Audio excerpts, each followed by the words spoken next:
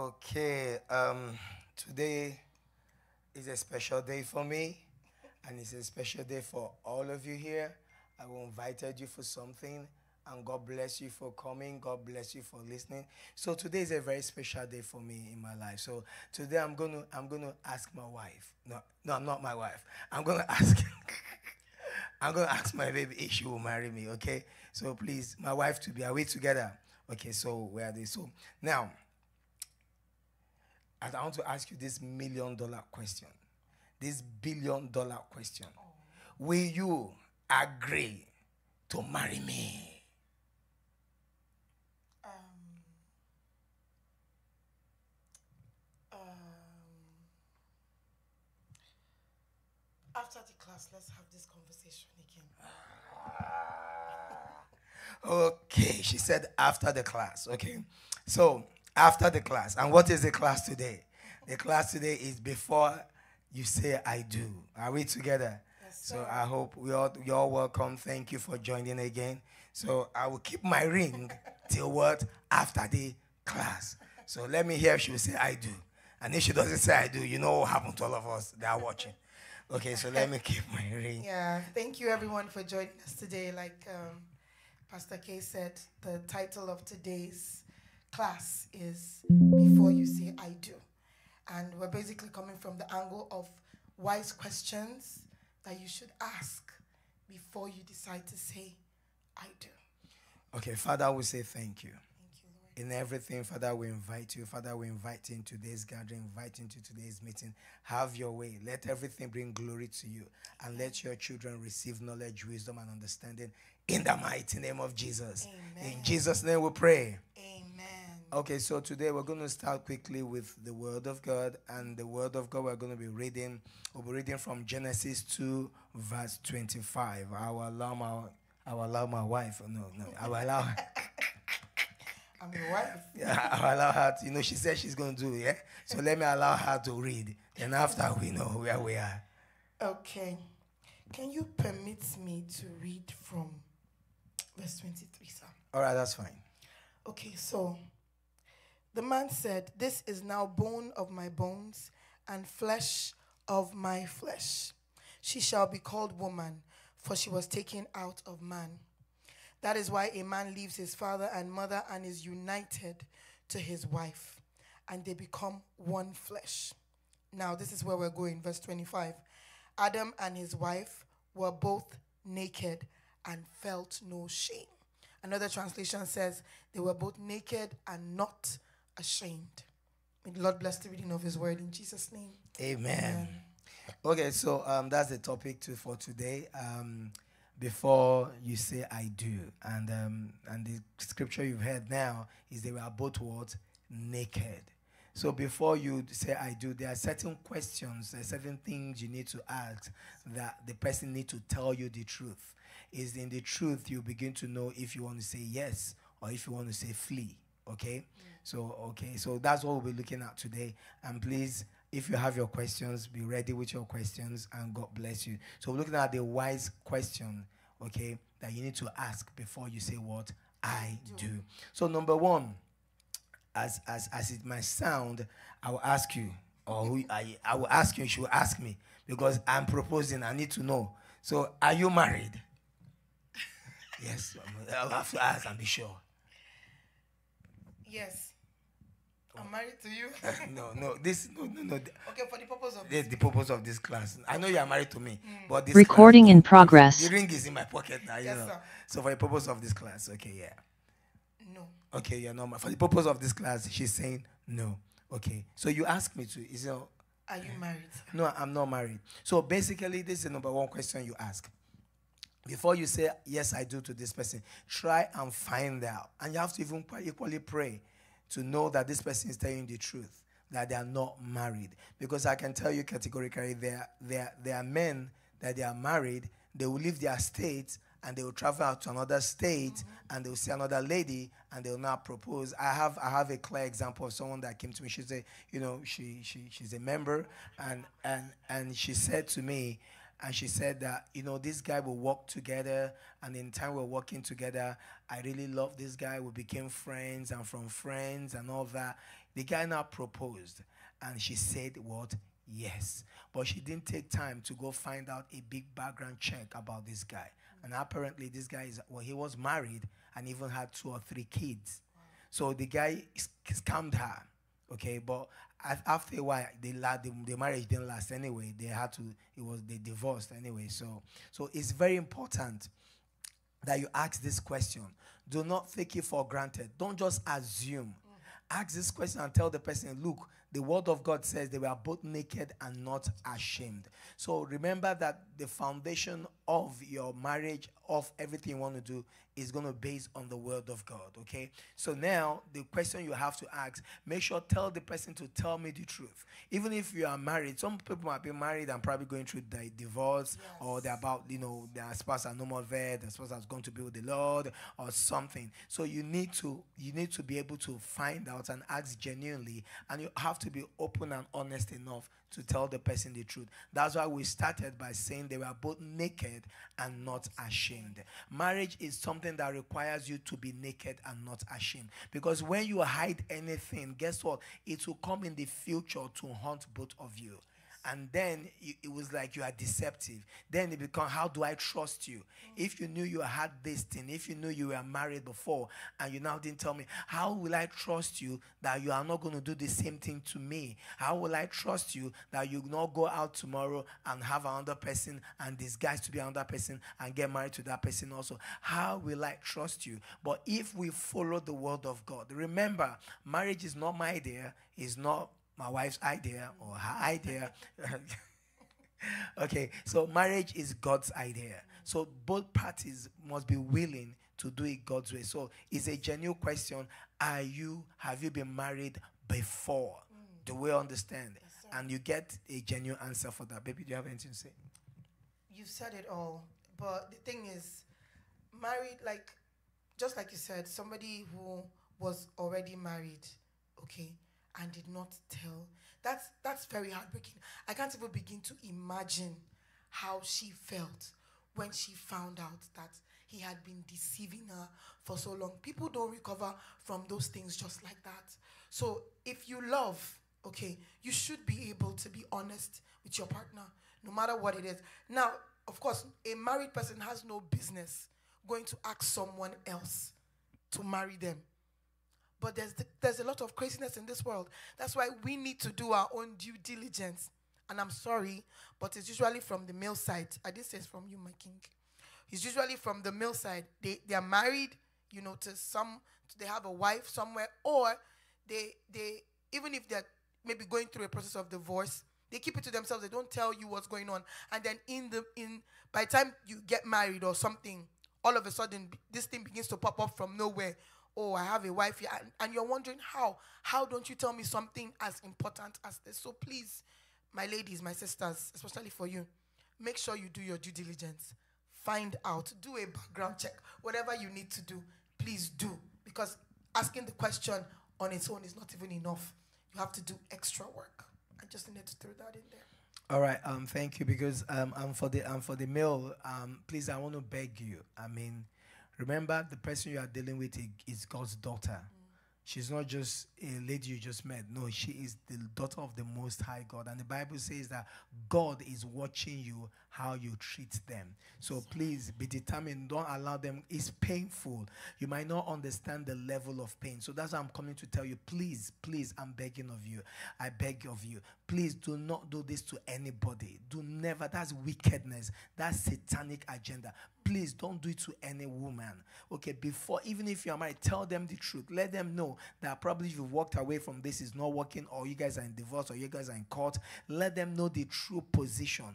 Don't push them along, deceive them, take their emotion, take their heart, take their joy, do everything. And after a while, she discovers that you are married. It's going to break her. It's going to, you know, there's certain things that it only takes God to, you know, and you don't want that. You don't want God, their father, to to see how you're treating, you know, you know, his daughter. Please don't do that.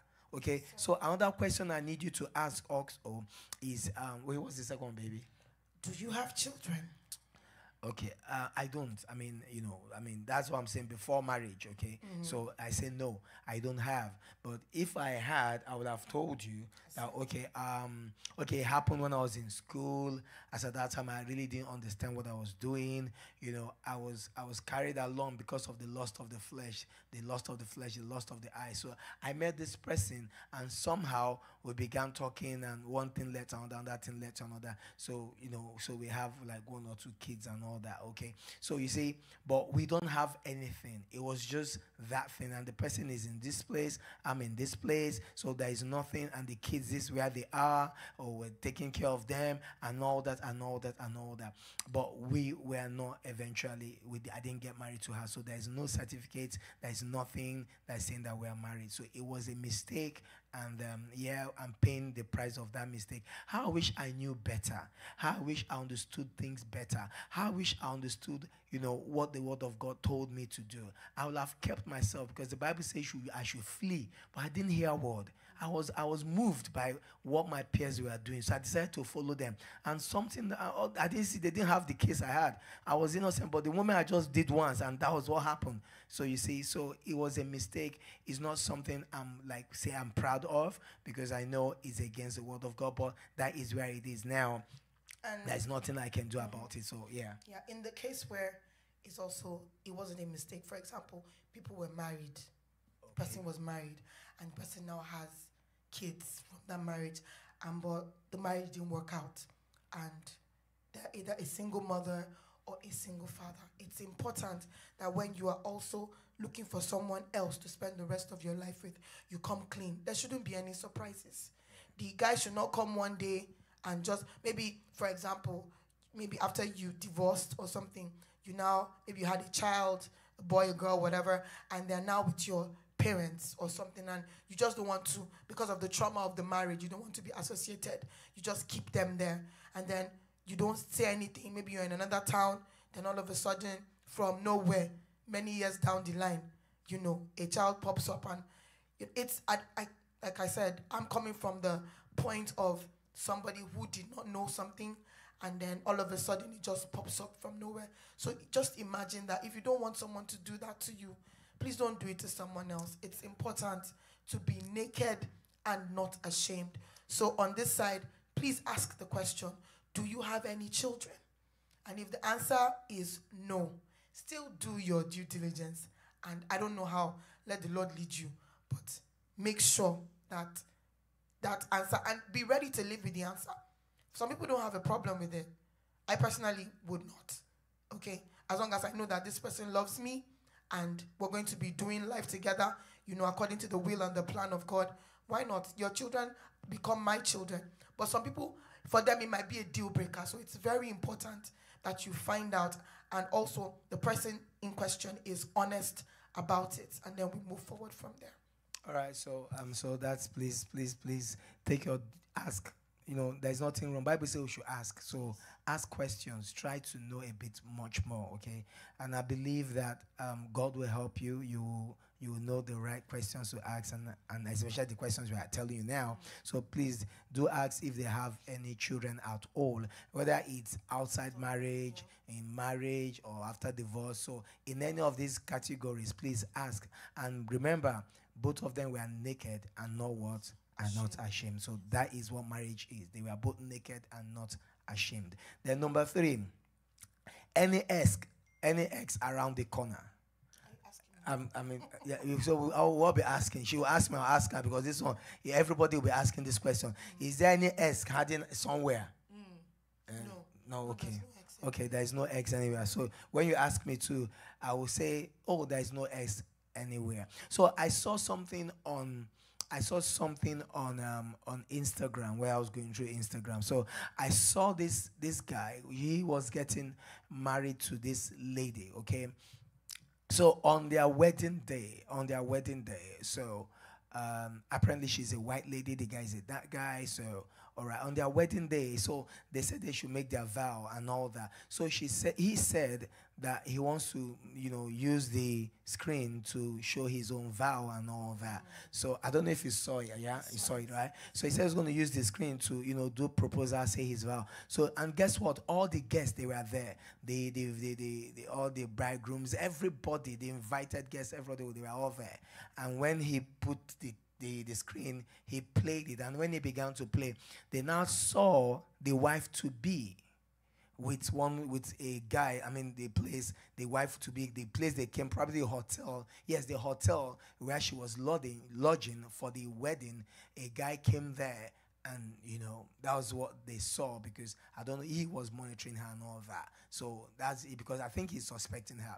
So that was what happened, and that I'm sure that will be the end of the marriage. So I'm not coming here to judge and ask, did he do the right thing or didn't he do the right thing? Why didn't he call her and tell her and probably call off the wedding and all that? You see, when people are hot, when people are hot, they they some that if you don't have the love of God, they'll look for how to get back to the other person. Okay, so so that was what happened he wanted to get back at her because she he felt that I've been faithful to you. I've never, you know, I was open before you. I was naked and not ashamed. This is me just saying, okay? And he just felt that he couldn't handle this kind of level of pain. He said, okay, so what will I do? Let us see how it hurts to cheat. And he played it, and everybody, and it was, you, you can imagine. So I, we don't want this kind of thing for anybody both the male and the female, you don't deserve to go through this kind of pain. Never. God did not make marriage for both of you to go through this kind of a pain. This one's cheating here. No, that's not how God is because there is a pain. Eh, you know, if if you've ever had that kind of a pain, it's a, it's a very painful pain that no man can really describe to you. So all I'm saying, do not allow anybody. Don't be an, a vessel. Don't be an instrument that will make somebody else go through that kind of. It's a wicked pain. Do you understand? So always make sure that there is no X around the corner because yeah. this is one of the major, major force that the enemy uses to, you know, break marriages and break home. You want to say something? Yes, I want to say something because this is a, it's a, like you said, it's a major um, force that the enemy uses because once you have had, especially when there has been sexual relations with an ex we put it to you that you have no business even being friends with that person. When you want to because just like he said when two people come together and you know they've done whatever they've done and all of that there is a soul tie like we have explained here before. And it doesn't matter how far away the person is or whatever there's something that happens when you guys begin like begin to talk again there's signals that are sent. So it's not, you need to ask the other person in question Is there any ex around the corner? Is there somebody that is still in your life? The person is an ex, but the person is still in your life. You know, you guys are still friends, people talk. That's a major red flag because you know, in fact, statistics show, okay, that majority, I don't have the exact figures now, but a lot of marriages go down as a result of exes. So it's very, very important that you find out from your spouse to be before you say I do. Is there anybody in your life that you've had something to do with that is still close? Somebody you still talk to, somebody you still share stuff with? Is there because we've heard all sorts of crazy things. Okay, so it's important that you ask. And if there's somebody like that, if the person is not willing to let go of that closeness or that friendship, please we will advise you to run for your dear life. Thank yeah, you. yeah, you have to run because I can remember. Um, uh, I can remember, you know, when we were married. Okay, you all know we've been married anyway. So um, I'll say ask the question because the ring is still in my pocket anyway. So I remember one girl. She just called me up and. Um, she said she wanted to see me. And i said i asked her why do you want to see me? She said uh, i said I, I, mean i don't care. So, you know then i was in, i was working in church office then. I said you know what? Come to church. You see, said no she doesn't see me in church. I laughed. I told my wife that you know what? That there is this person that calls because I, I i don't i didn't save her number. She got my number from somebody and now called me. Then you know i said to her? I said to her i called her name. I said do you know you are married I say, Is your husband aware that you are calling me? Do you know it's evil? Do you know it's wrong? I said, No, no, no. Go tell your husband that you're calling me and see here what he has to tell you. I told her, focus, stay in your home. I told her, don't call this number again.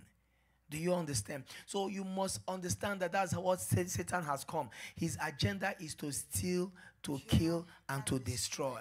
And he said, You don't want to come to church. You want me to. Why you want you want me to come? You won't come to my house. Where do you want to? No, we are not. We don't. We are. So when you and you, you see, I told her because we are naked and not what ashamed. Do you understand? Yes, and, and that was it. And she never called me again because I warned her. I said, Don't ever call this number again. In short, let me lead you to Christ. I now prayed for her. Hallelujah. Okay, so um, quickly we continue. Um, number four, we've done three. Then number four, baby. Okay, so I'm asking you. Okay. What are your life values? What are your beliefs? Okay, these are two questions, but okay. they're two in one. Okay. okay. So, as a Christian, what are your life values and what do you believe? Because I personally believe that two Christians can actually have different values. Okay. Yeah, so what are your values? What are your life's values? What do you believe as a Christian? Are you asking me? I'm that's question you ask. okay. All right. So basically, um, okay, now my value. You, I mean, you, you knew my value before. You, okay, yes, let's just say. Okay, so basically, you have to find out what's it. So for my value is, you know, I love God with everything in my heart, hundred percent. Yes, I don't joke with it. That's what I love God. I love God totally. I want to please Him. I don't want to hurt Him. I, I just love him with everything with my heart, with my soul, with my being, with my mind, with my action. I love God. Yes. Then I love people. Okay, I don't want to see people hurt. I don't want to see the enemy win. I'm always angry mm. when I see it looks as if the enemy is winning God's children mm. because of how much I love God. I don't want the enemy to because this life is a kingdom, the kingdom of light and the kingdom of darkness. When I see something and it looks like I see the kingdom of darkness having an upper hand, I'm always angry in my spirit. Mm. Why? Because of I love God. So because of I love God, I love people. Do you understand? And I believe in Jesus Christ. I believe there is a life after here. The Bible says that uh, at the end of our time here, um, if you do well, you will hear the crown, you hear the sound saying, Well done, that good and faithful servant. So my heartbeat is there.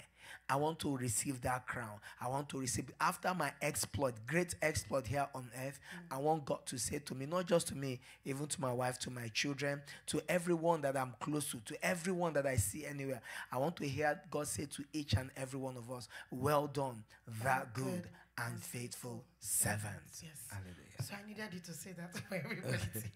But honestly, that that's one of the reasons. You can, okay, the major reason why I married him because I understood that we believed the same things and we were heading in the same direction. So, this question is very, very important.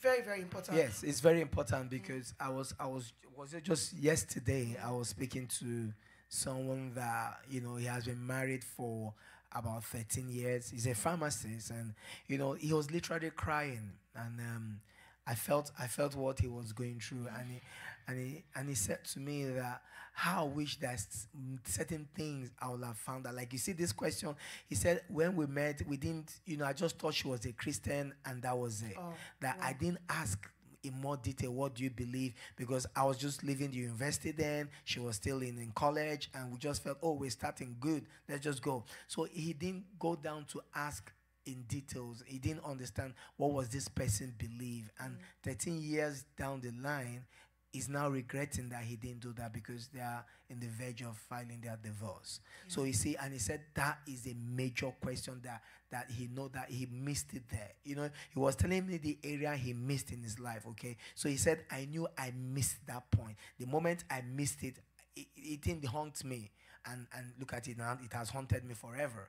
So you have to be, what we are saying is life We are not just coming here. No, no, no. This thing is real life, real life. I even spoke to someone. I think she was. Uh, I think she resides in Iowa, and and and, and you know she's equally having issues. And, and she said, oh, "I've moved from my house." I said, "Didn't you ask this?" She said, "Well, I just you know." So there is ignorant. A lot of people don't ask this question and now, some years down the line, the thing now surfaces again, and you discover you're not paying the price for something you didn't ask for in the beginning. Yeah, um, because and that's because a lot of us make assumptions. We just assume because oh, you're a Christian, I'm a Christian.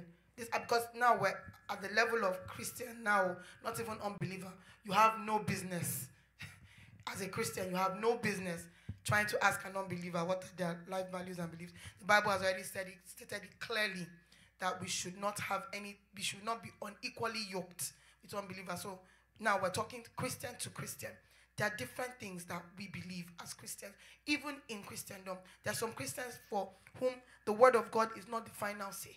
Mm. What yeah. for them, the final say is the culture. Culture, yeah. Absolutely. For them, final say is what their parents say. So you need to understand that before you go before you say I do. So, for example, and these things are things that if you find out before time, it will help you make wise decision. Because if you know that, oh, when it, when God says we should do something, and the person I want to marry does not believe that, oh, okay, God says you should, uh, uh, me, I'm not yet convinced, that kind of thing. You, both of you have to be speaking the same language. You have to believe the same things. It is very, very important. If not, it's going to be. I remember you know, when me, my husband and I were dating and all of that, and certain things came up, like tithing and all of that, we had to come to the same page that, okay, oh, when it comes, we're going to get there, let me not jump the gun. But we need to believe the same things so that we can work together because the Bible says, can two work together except they agree in agreement? Okay, so please, please, please make sure to ask these questions. No, and it, it, it, might not be something that you just sit down one day and begin to ask. As you people walk, as you people go, you know, get to know each other. Sometimes some of these questions you don't even need to ask. You just see how the person is displaying, acting in this area. You know that okay, this one, for example, this one is very, very, very, very key. A lot of Christians right now believe that it is okay to have sex before marriage, even though the Bible says that having sex outside of marriage is a sin. They have come up with all sorts of reasons why it's okay. You need to ask that question. Okay? If you are keeping yourself, you need to ask that question before you say I do because it will it will show whether the person on their own part have been living celibate and holy lives. When you you you know, so there are just some questions that you need to ask. Very, very important. What do they believe? What are their life's values? Okay? Praise God. Hallelujah. So that's very powerful. You know, sex is very powerful. So always ask that thing. Let the person know your stand from day one. That you're not interested in this, you're not doing this until afterwards marriage. Yes, and you will know if the person will stay or if the person will disappear. Do we understand? So the next one is um Okay. This question. Hmm. Mm. I like this question. Okay. yes. So who are you accountable to? That is a question that every man, every woman needs to ask the person that they want to get married to before, or the person they want to go into a relationship with before you agree, you know, to be married. Why? Uh, because you know that when two people come together, okay, you've not done this thing before, okay, even if you've done it before and you are out of the marriage, you made certain mistakes, it's important that you are both accountable to somebody. Someone said once that a headless man, when I say headless man, a man that is not accountable to someone is a walking disaster. Because when something goes wrong, you if something, God forbid, but if something happens between my husband and I I have somebody that I can report him to. Do you understand? Yes. Oh, this is what's happening. No, please come and talk to him oh, and all of that. So besides God, there should be someone, and it should not be your parents, it should not be your siblings, because those ones already take your side. Okay? But for accountability is very key, and vice versa. If I'm doing something wrong, my husband has people or someone that he can tell, report me to. There should be accountability in your marriage. Just in case, because the enemy is looking for a foothold. He's looking for a foothold. He's looking for a way. The enemy hates marriage. The Bible says that God hates divorce. Guess what? Satan loves divorce. So he will do everything he can to scatter your marriage. That's why it is important. For some people now, okay, they like to go, you know, see a, a therapist, go for counseling. That is good. But there should be accountability, especially with people who have gone before you, who are doing it successfully by the grace and the mercies of God. It is good not to take your spouse outside and be telling everybody what's going on, or take you, do you understand what I mean? But there should be people that you can talk to that have your interest at heart and are looking out for you and can help you fix it when you are going in the wrong direction. So you need to ask that question Who are you accountable to?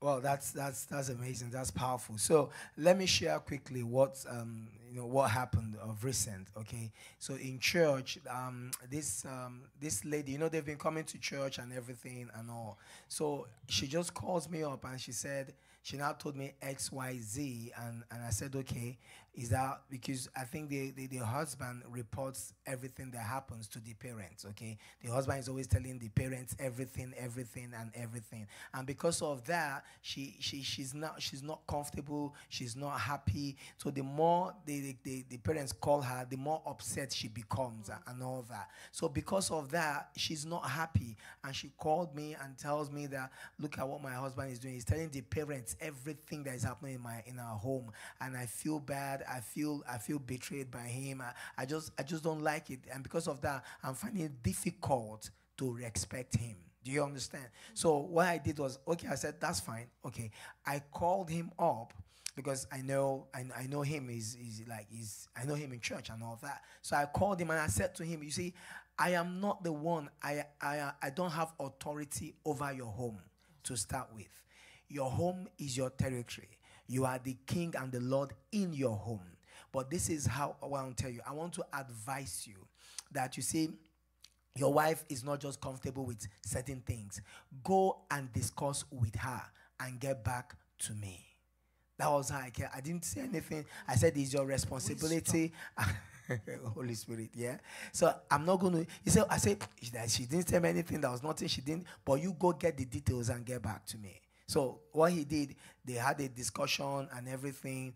And after he got back to me and he said, "Oh, my wife is not, you know, respecting me, that, that," and and now in the, in the process of discussion, he now mentioned, "Oh, I report my wife to my parents." Okay, I, to my mom. I tell my mom, well, my I, I, that's when I, I told him to hold on. Why would you report your wife to your mom? Bible says, um, two, I mean, you shall leave your mother and your father, and both of you shall cleave together. So why take your wife to your mom? Is that you understand? So I now began to school him, and I actually told him I have like three friends or thereabout that did the same thing, and I can tell you today their marriage has been broken. So parents kind of somehow will support their children, and Satan is looking for an avenue to break your marriage. So he's looking for somebody he can use, influence them, and make them support you or make them support the other party yeah. so that this marriage will start having issue. And when you're having when he's having issue, they say, Oh, he looks a way to make them, you know, you know, it's an influence. Not that they're bad people, but Satan hates marriage. So he's going to use anything and everything to come against that marriage. I told him, Look, you are ahead of your home. Satan is already coming straight for your home. And if you are not careful, after a while, this thing is going to degenerate, and both of you will start, you know, there'll be no interest, there'll be no love. No, you know, they start living in one separate room, one separate room. From there, Satan will now introduce one guy, one where, one girl, one where, and all of a sudden they say, Oh, we are no more compatible. I'm so it's a systematic ploy of the enemy. So you have to keep your home. After I said that to him, he went, honestly, you know, he went and they had a same this talk, you see, they are both naked and not ashamed. So they sat down and they said, "Oh, he said now, I, he said I hate, I hate that atmosphere, but now thank God that atmosphere is no more there." Do you understand? Why? Because there was accountability. Imagine if there was nobody she could talk to or nobody he too will listen. You know, she knew she, she knows that the husband will listen to me, okay? And that's why she said, Okay, I'm gonna you because I know my husband will listen to you. And now they are both happy. And that's the joy of the home. And that is our intention. So accountability is key. So you find out from the person who will you listen to? Who are you like? You know, oh, I don't talk to anybody. I don't take instruction from no one. I am the head. I take no instruction from nobody. It's me. I'm ah. Be careful, because those kind of people, when anything happens, nobody will tell him to do anything. He will do it the way he wants to do it. Do you understand? So you have to have accountability. Okay. Awesome. All right. So um, number six now is um, okay. Let me ask now. Number six is what are your mindsets or what are your beliefs when it comes to finances and when it comes to money? Are you asking me? Now? okay. So I'll just. okay. Okay, so okay, so when it comes to okay, yeah, what are your beliefs? Like, what do you believe in? Do you believe in tithe? Do you believe in giving? Do you believe in helping people? Do you believe in I can help my family? Do you have a problem with me helping my family? Of course not. Okay, you see, you have to ask because yes. some women don't like it at all. Mm. They, they, they they are angered if they see that you want to do something for your family. It, I, I mean, I, I mean, someone was telling me, I, man, I, I was like, why? I mean. You don't need to know. You, you, don't. You don't. I don't even go that way. I said, why would she be this wicked? Now you want me to do something for your family and help your family, but when it comes to my family, you are just so vehement. You just there's this viciousness. Why are you this angry? I'm not angry if you do something for your parents, you do something for your siblings. I'm even encouraging you to do something for them. So why is it that when I want to, you know, you know help my, you are very upset? Why? So you have to find out do you have any issue with me helping my parents? Of course not. Do you have any issue with you, me helping people? And then people can just come. Do you have a problem with that? No, sir. So we do it together. We, yes, absolutely. we do it together. So so this is the things you should know that both of you are together. You are a team. Do we understand? So it's important to see how this person is. Am I stingy? Of course not. You see, you have to know. You have to. you have to know some men are stingy and some women are stingy. They'll make their money, they'll wrap it, put it somewhere. Your money is our money. Her money is her money. Mm-hmm. No. Yeah, so it's it's this you see this money issue, we can be on it because it is well. You need to find out what that person's relationship is with money. Yeah. Because there, there's money relation need to understand what that person's relationship is with money. Because some people find it difficult to part with money just like he said. Some women especially feel like it is the man's sole responsibility to care for the home as in financially. And her own is just to look pretty and support you know once in a blue moon. You need to find out all those things. Are you I, i'm not saying there's anything wrong with that. If that's what works in your marriage that's beautiful. But know that you need to find it out first and know if it works for you. You need to find out if both of you can run a joint account and spend money together. Plan with your finances together. Remember, they were naked and not ashamed. You also need to find out if the person is in any debt. Okay? Because if the other if the person is in a debt, are you ready to inherit that person's debts? It's something you need to ask. Find out, are you owing money? Okay, if you're owing, how much are you owing? You need to know before two of you tie the knot so that, because as you are going in, it, you have become one. So that person's debt has become your debt. Same thing financially. Yes.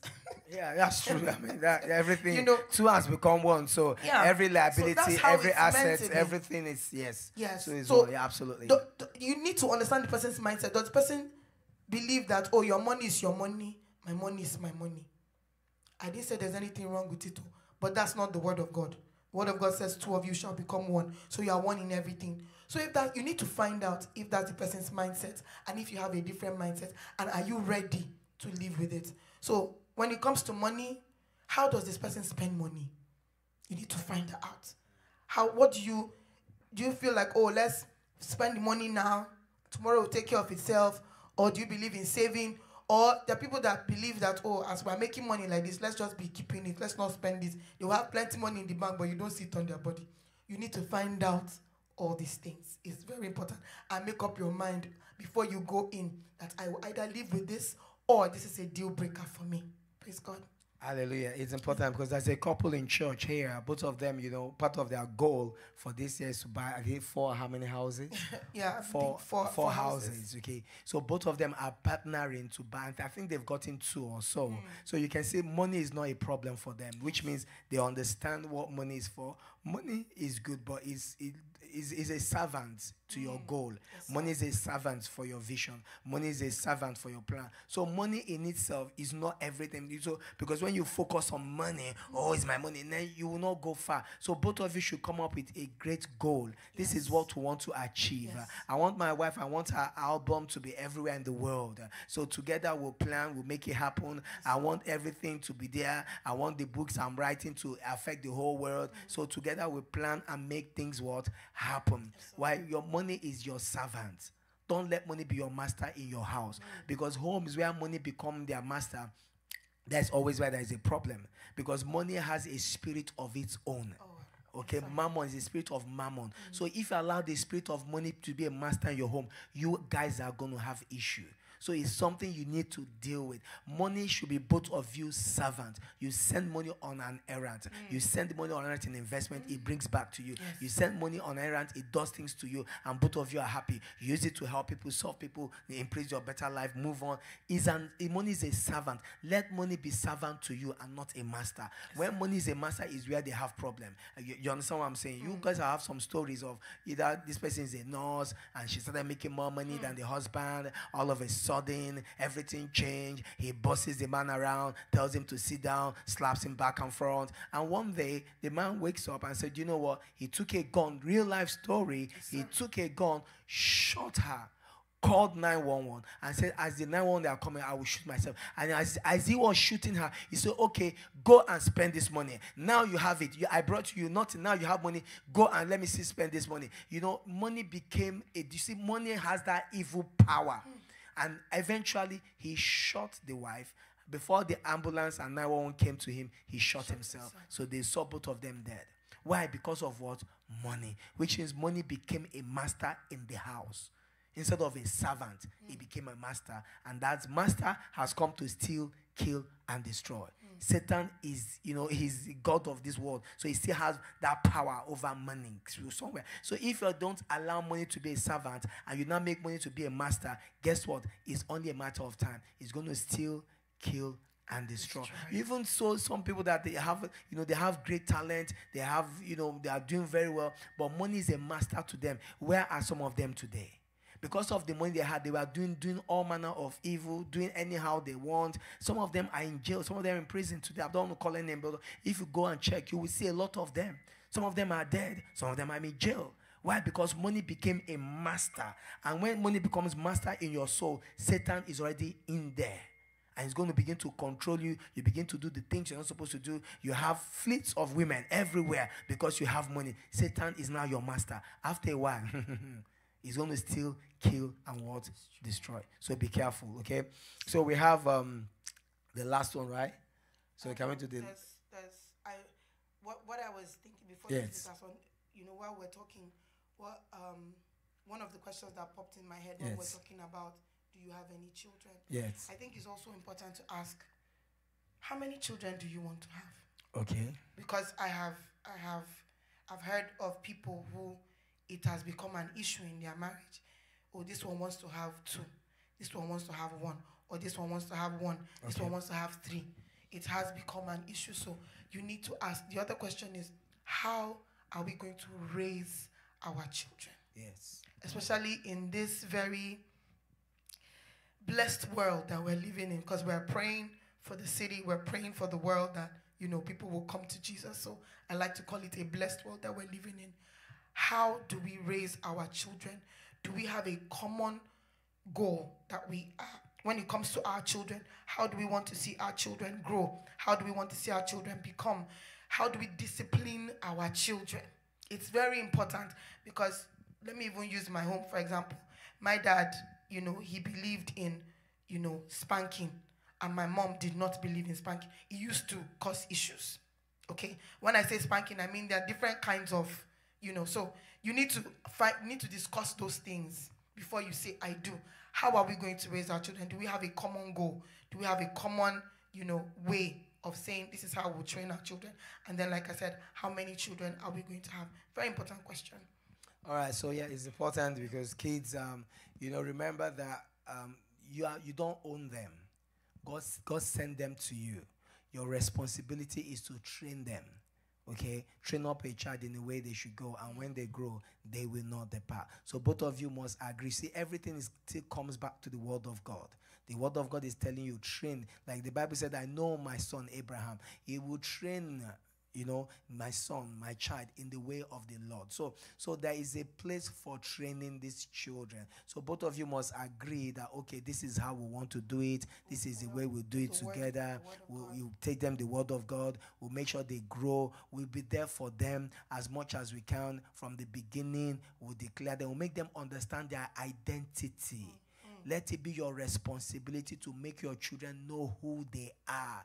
Because when they go out, out there, mm. the world want to change their identity. So make it upon yourself. Both of you must agree that our children, they must know their identity from home, mm. which means both of you must know your own identity. And the moment you know your identity, you pass it on to your children and tell your children to pass it on to their children, children, children. They must know their identity before the world gives them another identity. You are in the social media age. Social media will give them quick identity. They'll be they'll miss it. But if both of you have resolved that our children we must we must, by the help of God, by the help of the Holy Spirit, teach them, train them the way of the Lord for them to retain and know their identity in Christ. And not just identity in Christ, they will have spirit of excellence, they will excel. Let them know that when they go to school, they will stand out. They are the head because that's who they are. That is their identity. They do not be, they don't, they are not, they shouldn't be intimidated where people are. No, they should stand tall and stand firm and stand strong because of who they are in Christ. Hallelujah. Amen. Okay. Amen. So let's say one more. And if there is any question, if you have any question, please can you send in your questions so that we can, you know, help and let someone be blessed, you know, by the question you're going to ask. Hallelujah. So you want to take the last one before? Yes, uh, but we can do it together because okay, yes. this, uh, something else was coming to my mind as I was. Okay. Um, so you you need to ask this person, what are your goals? What are your plans? You know, do you have any long term plans? Okay. Um, do you have short term plans, short term goals, and all of that? These are questions. Why are you asking these questions? Because you need to know if both of you are going to be able to do purpose together. Are you going in the same direction? Are you going in the same direction? Especially when you're a purposeful person and maybe you've written your own goals, you know, or even in your career, you need to find out how far is this person willing to go career wise? Because all these things will affect. So that tomorrow, now, if let's say the, the girl has made up her mind that, oh, I'm going to do, when I finish uh, college, I'm going to go into my, I'm going to do my master's. After my master's, I want to do a PhD or do three PhDs. Are you willing to live it? Are you, because when, the, when she's moving on like that in her career or in her academics, it's going to take a toll. So, are you ready? These are questions you need to ask. Okay? How far would you want to go in your career? What are your goals when it comes to your job, your career, uh, or it, for example, even ministry? I've, I've, I've, I've had friends that were very fireful, you know, for God. They're music ministers, carrying fire and brimstone. But once they got married, all of that ended because their spouse did not support their ministry life. So these are questions you need to be sure that both of you are going in the same direction before you say I do. Yeah, that's um, that's you know I, she said it all. I mean, um, for the future, both of you need to understand it must be clear. It must be something both of you sit down and, and discuss and talk about. Okay, this is what dating. I mean, this is what you should be doing when you're dating, which means you're getting to know each other. You're getting to know what what is the future. Does he have any future plan? What's the goal? If we don't, there are people that there are some guys that can give you the bogus goals, and you ask, have you achieved anyone? Mm and they give you bogus reasons why they've not achieved anyone. Guess what? Let me tell you, that same person is not going anywhere. If you get married to that person, he will keep having bogus plans, bogus reasons for not achieving even one. So if someone say, I have a plan to be this, and, and I've made a step one, and you see the step one, okay, so which means he's, he's like, he, he's saying it and he's doing it. Okay, don't marry someone that is just saying and is not doing. Okay, he's saying and he's not doing. Just like there was a case of a lady and she and, and she's going out with this guy and um and apparently says to this guy that um that uh that you know, they are planning getting married and the guy said oh i want to marry her. That is my intention. And the guy and the girl says to the guy look I, I don't have a problem. I want to marry you also real life. And she said but i need to see that you're making progress in your life. Yes. I need to see that you are moving forward in your life. Mm-hmm. Now, you said you left where you were living to live with your friends so that you can save money, all right? He said, Yes. Show me, have you saved anything? The guy said, No, he has mm-hmm. not saved anything. So now she is doing well for herself. So, how then do you want me to now get married to you that you can't even take care of yourself when you are not even paying rent?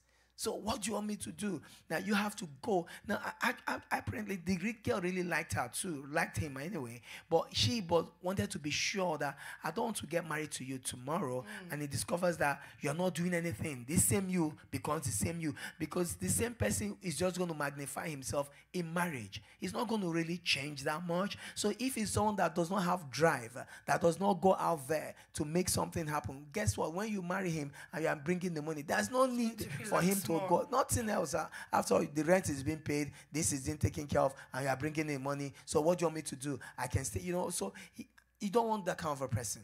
Do you understand? So you want someone that even in the little thing he or she is doing, you can see the effort that the person is making to do something. So don't mind someone that don't have any effort. All he has is just that fine face. And that's his no no. And that's his pack.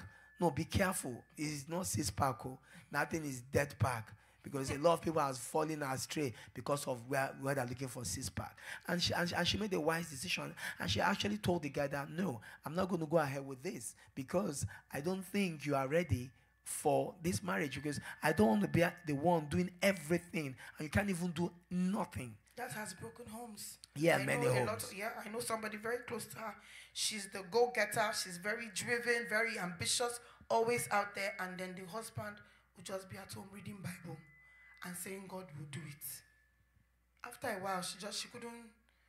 The marriage ended. I'm not saying that should be grounds for, you know, a marriage to end, but it can be frustrating, and that was what happened to her. Their home scattered. The enemy just used it as a loophole, came in, and the marriage was scattered. So it's important to ask all these questions so that you don't get any surprises in marriage. It's very important. You see, you say, "Oh, eh, no." If he's a man of God, okay, what are what are your plans? Mm. What is God saying to you? Have you started doing it? Mm. Have you done it before? Mm. How far have you done it? If there is no evidence where whatsoever to show you that this person has been making effort and really God is really telling the person to do this, to do this, and you can see, then you you he's just going to play and get married to you. Then he'll just sit and say, "God is still telling me."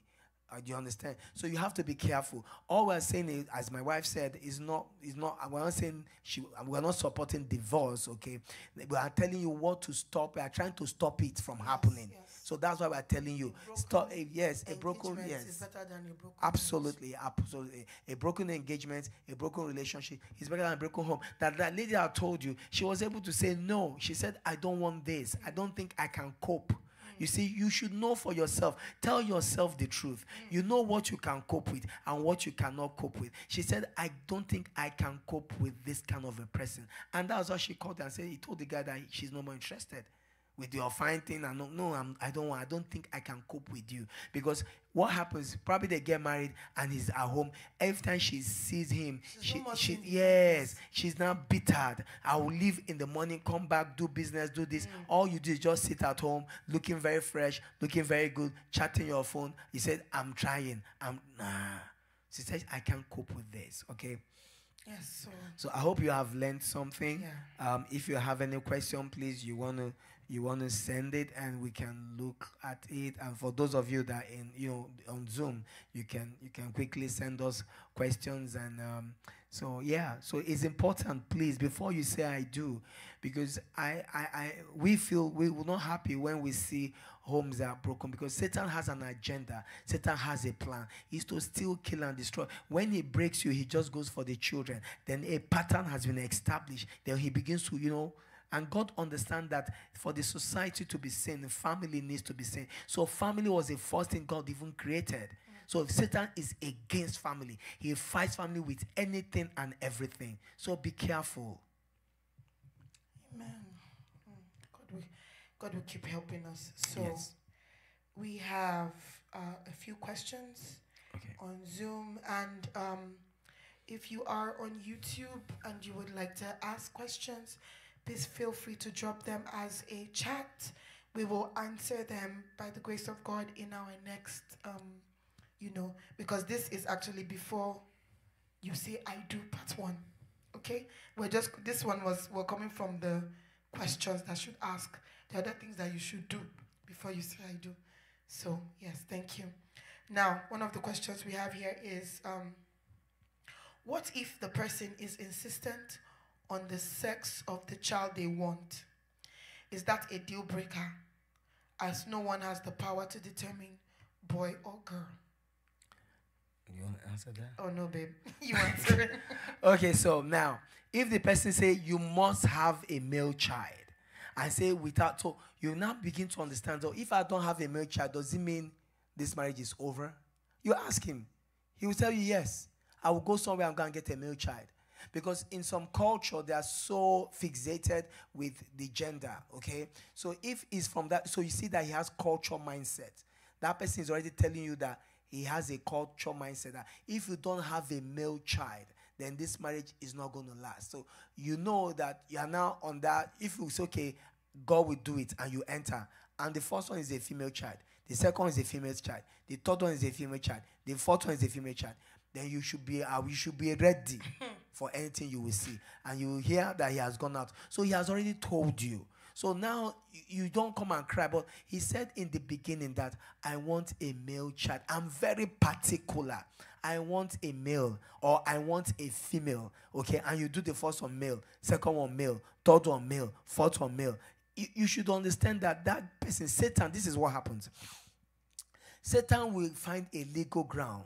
He'll be, you know, Satan hates marriage. So he'll begin to whisper to him that you, that is you, I need you to have a male or a female child, dep- depending on the gender, and say, look at that, your secretary. Don't you think that that person give a, a, a female child or a male child and see how much she likes you? See how much she's, uh, she respects you. It's nothing. It's just, you know. So Satan will begin to tempt. So, so the tempter is always available. So there is a legal ground to tempt. Sex and the, the, the, the, the, the sexual um, gender of the child becomes a legal ground. So he will use it to tempt the person go out, go out, get a meal, get a meal, get a meal, get a meal. The voice will be so loud, and somehow he will position somebody there for him, and all of a sudden you see him going out, and guess what? Probably he'll not get the milk I So, oh, and one day the wife will get to know and say, I don't want it. You know, so he has he has broken the covenant. So Satan now has a legal ground in his home. And that will lead to another thing. Another thing leads to another thing. Another thing leads to another thing. And you know, so you don't want to go into all those things. So it's better you ask him. See, let me ask you straightforward. We want male, but if God doesn't give us male and we have female, what will happen? Or we want female. If God gives us male, what will happen? Hear what he has to say. Let him be. Remember the scripture. They were both naked and not what? Ashamed. So if he said, No, I, I must insist. Okay, now you ask him, Can we adopt? If we have female and we really need male, and I really need male, so will you be willing to adopt? Because every every child is from God anyway. Do you understand? We don't own any of them. So can I adopt? Is it good for us to adopt? If he said, No, I don't adoption. So what do you want? Let him tell you what he wants before you say what I do. Yeah, and you can also educate him on the fact that for those that say they want male kids, okay, and they are blaming the woman, I, just I want to believe that in this age, the people know that it is the man that carries the Y chromosome that comes together with the X chromosome in the woman to bring forth a boy. So anybody that is blaming a woman in this day and age for not giving them a son needs to get more information. Okay, so if once personally, if I, if a guy tells me that that's a major deal breaker, I won't even go forward with that. So you make up your mind. Okay, that if something happens and it's all girls you have for the guy, and he says, Leave my house, you knew from the beginning. So that's why it's important that you deal with it before you go into marriage. I know she's a doctor, so she's telling you. So the man that is listening, know that it's your fault, not her fault. Okay. All right, let's go. It's not really anybody's fault. Yeah, it's anybody's fault. It's you know you can't. You, that's God. I mean, Yeah. and and children. Remember, children are a gift from God. Yes, sir. Anyone God's gift to you, honor them. Pray, just train them. Guess what? You will not be here forever with them. My mom and my dad, they are not here. They have gone.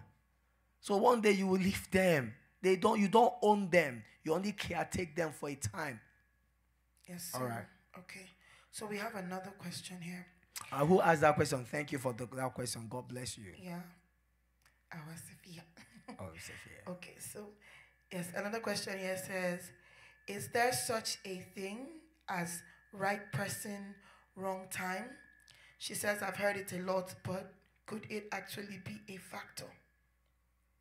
When you say right person, wrong time. I mean, in that, in maybe you you you you won't. I'm, I'm still trying to. Okay. I, I think I understand. Okay. For example, I'm just using this as an example. Somebody who wants to further her studies Okay. um, and she's not ready for a relationship or to get married at that time, and somebody comes around and wants to, and the person is, you know, wanting to take it deeper, like let's get married, and this there's nothing wrong with this person. The person has checked all the boxes. Person is good all around, but on her own end, because of these goals that she has, she feels that it is a wrong time. That's that's. That's okay, so I okay, that's I a understand. scenario. Okay, Yes. okay, she has painted a scenario. So, so let's look at that scenario. Okay, like I'm ready to say let's go, and she's like, no, because of her goals. You see, we discussed it that I want to do masters first before I get, you know, get into anything marriage. So if you don't mind, if you can be there when I finish my masters, then you know, you know, we'll still be friends. But remember, there is no sex and no nothing. And if you're here, you won't tell me you're here and you're there. So you want to be here, let's be here, and and let's wait and be patient, and you know, and we can do it because God makes everything beautiful. So my timing is um, let's say by the end today, let's say this is April, like by by May or, or September next year, I'll be really ready. But for me, I want it in April or I want it next month. Then you see, she's a good person. She has everything I want. But the timing now is the issue. Her timing is next year. Timing is not rhyming. Uh, so timing is not rhyming. So my own time is not rhyming with her time. So now the question is, who will budge? Will I say, okay, all right, I will honor your time. Okay, I will respect your time because of your goal, and I'll be still there. We'll be there. We'll be there, and together I'll make sure you finish. And then after you finish, the day you drop your pen, we already printed an invitation card. So as she's dropping her That's pen, we're all, did. eh? As we're dropping pen, they were marrying me.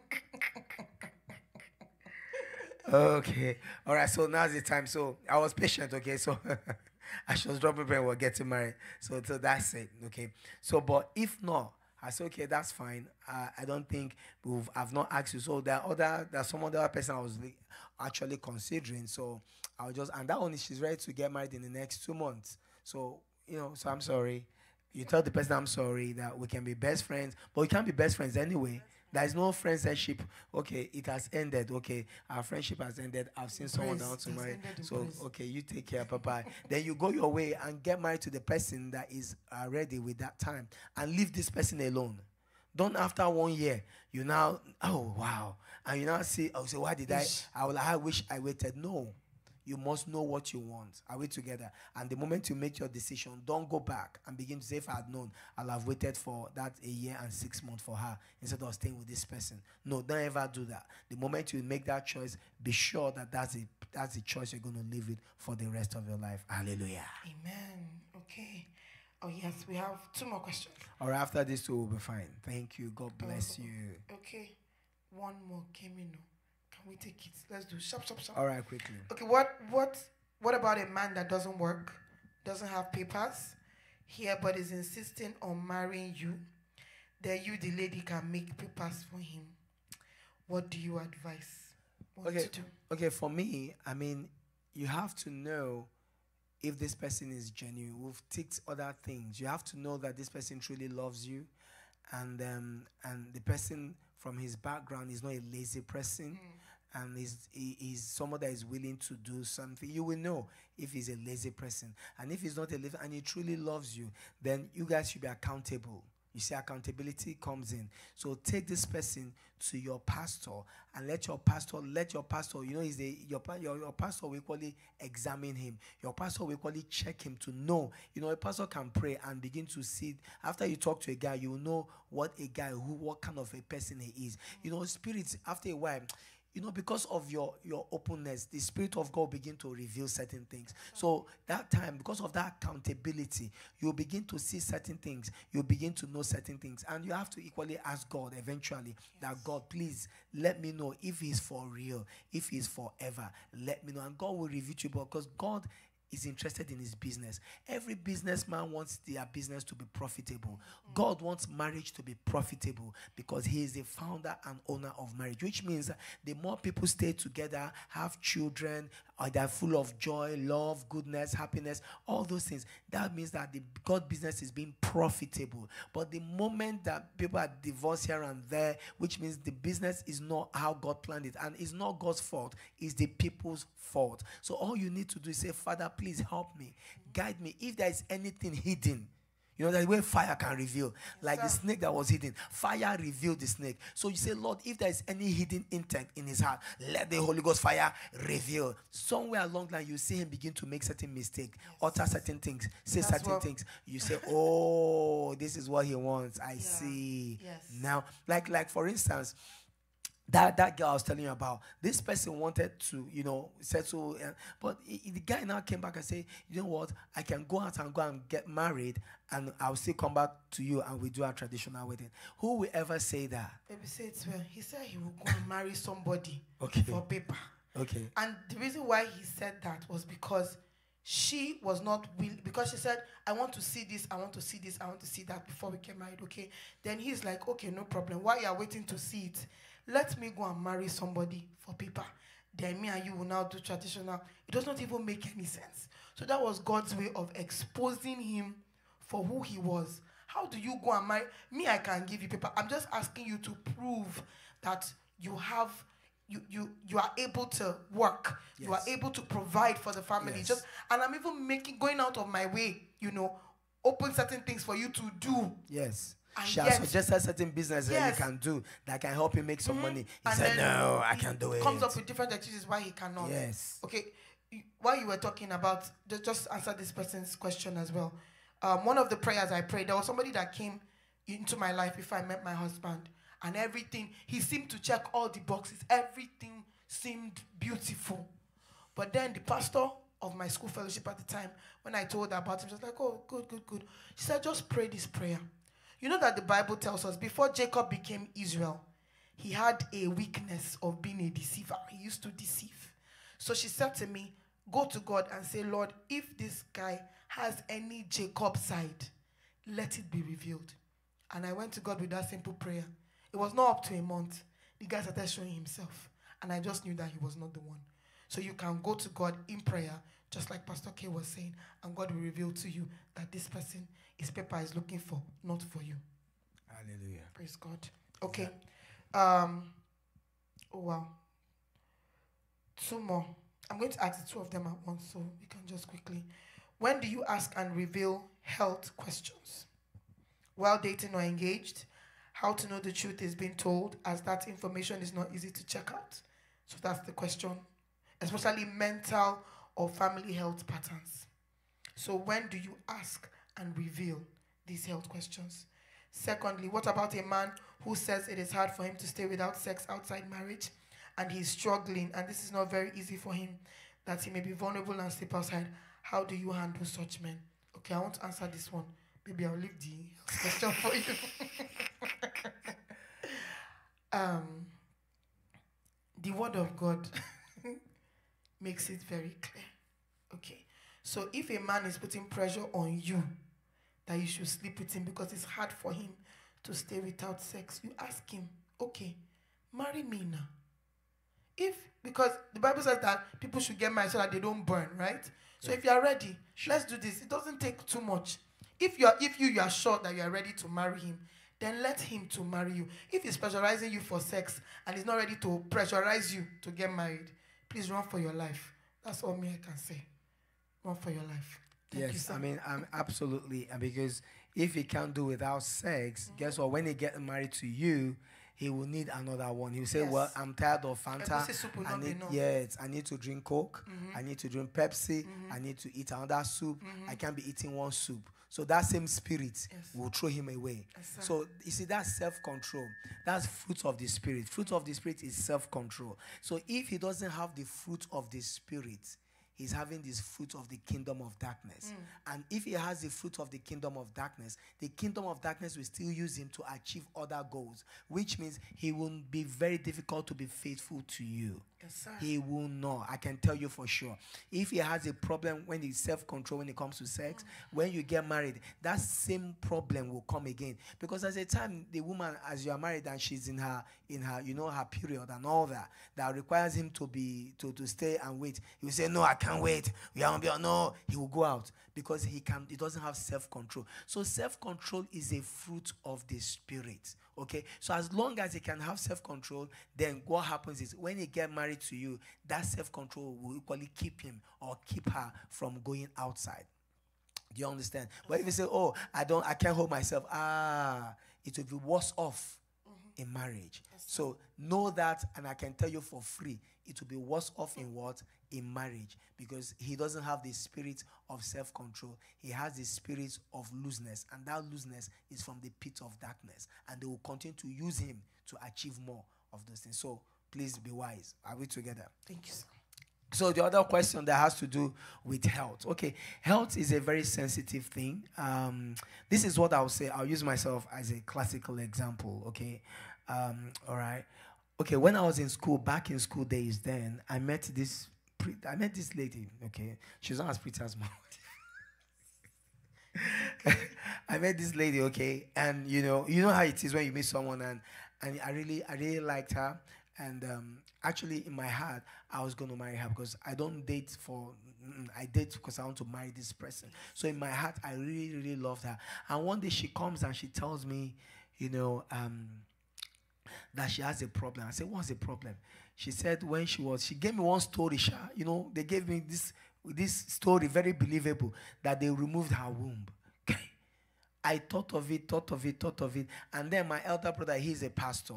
So I went to my elder brother, you know, I told my elder brother that, see, see, see, I really love the girl, but this is what this girl is saying to me that they removed. And my elder brother, who is a pastor, then said, well, if you really love her, okay, now, it doesn't stop you from getting married to her. That that God, there's nothing God cannot do. He told me as years, this was years, more than 20 something years back. So he said there's nothing God cannot do, number one. And even if it's too hard and you really love this person, you can always adopt. That was my brother telling me years back. So I made up my mind that I was going to be with her. Do you understand?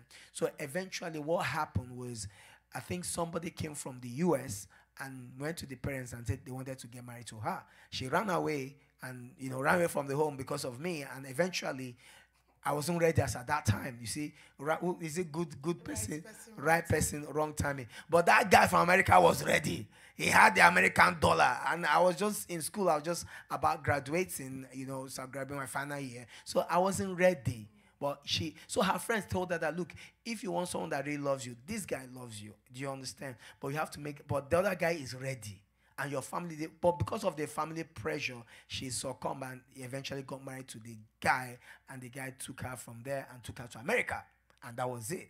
But I'm here with my lovely wife. Do you understand? So, so do you understand? So now she she she told me, uh, but she, I don't know. She was playing. She was playing. She wanted to know if I will go or if I will stay. So when a guy loves you, he will want to see how he can be there for you and believe he can be there for you and both of you can overcome this but it's not the first thing you tell the first person on your Yes, first date. let you have to know that this person really cares and really loves. So you can see if you know the kind of person he is does he care about people? Does he really love god and care about people? So if you care about people too it won't be it won't be a, it won't be it won't be you say but this thing can happen to anybody. Mm. And you now begin to think and say okay how can i be of help? How can i be there to help her overcome this and you understand and and all that. Do you understand? So there is where you can tell the person. But if you tell the person after marriage ah the person will he will be angry. Yes. that why didn't you tell me? So the person has a legal right to say i don't want to do anymore because you hit this kind of heavy information from me. So but before you guys tie the knot before you say i do sit the person down. Let the person say do you know what? Now you know that this person really loves you, loves you for who you are. And if you love me for who i am this is who i am. Do you understand? Yes, so in addition to what Pastor K just said, um, there's really no, we can't give an exact timeline, but just be sure Yes. you you know that this person right now, when you understand that this person has proved beyond reasonable doubt that they are your person and they will be there for you by the grace of God, you can begin to divulge such information. Then, according to that question as well, the question also talked about, especially when it comes to mental health issues Oh, and yeah. certain patterns in the family. So, for example, maybe in that person's family, they've had one or two people who are experiencing mental insanity, things like schizophrenia, and the rest of them that can be genetic and all of that. It's important when that you tell that person. oh as at that time as at that time both of you will be accountable yes, So your pastor, you have told your pastor, Mm-hmm. and your pastor must understand the power in deliverance. Yes. Your power must be able That's to where I was break, going. break, break circles, break pattern. So those things come. your if if you are under a pastor that understands the power and the force and the word of God, the deliverance power in, in God, he can deal with it. And Yes. and I assure the guy that you don't worry. As long as we are here together, mm-hmm. nothing will happen. I will break it. Take the, take both of them, break it, scatter it, take them to the court of heaven where God is the righteous judge. Remove her from that bloodline and align her into the bloodline of Christ. Let her know from now this is our bloodline. It is the bloodline of Christ. You know, terminate that one and bring her into her new. Do you understand? So Yes, you must have accountability. For that question, accountability must be there, which means the pastor must be one who understands and can help. If he can't do it, he must know someone that can, you know, do this um, um, pattern breaking and deliverance. If you don't join NSPPD, Streams of Joy, we are fire here, so we know. NSPPD. Hallelujah. Praise God. So okay, so that's it. So let's finish. Let's finish the. You know what we started. Then we, the way we end it. We must end it here. We must end it. Let me bring out the ring. We must do what? We must end it. Are you going? to Let me ask you. Will you continue to do? We have been doing for how many years now? Will you continue to take me and to do? Are you doing? I'm, kneeling down again. So let's continue. Are you doing? Are you doing? Are you doing? Uh-huh. for the rest of my life. Yes. Thank you. yes. Hallelujah. Hallelujah. So everything was it, and you said, Yes, I do. Yes, and she continued doing, I do, I do, I do. and we'll continue doing together. And we'll pray for you all that God will bring help you bring your own bone of your own bone, the flesh of your flesh in the mighty name of Jesus. Amen. Marriage is a good thing. For all those that to go into it, is a good thing. Good thing will follow you, good thing will follow your home in the mighty name of Jesus. Amen. Father, we say thank you. Thank you for everyone that has tuned in to listen. Father, bless them. Let them find their own power. Let them find their own spouse. Amen. Let it be bone to bone. Amen. In the mighty name of Jesus. Amen. In the mighty name of Jesus. Amen. In the mighty name of Jesus. Amen. When they marry, divorce will not be mentioned in their home. Amen. In the mighty name of Jesus. Father, we say thank you. We return all the glory to you. In Jesus' name we pray. Amen. Amen. Amen. What God cannot do, Does not exist. what God cannot do. does not exist. So we look forward to see you same time Yes. next month.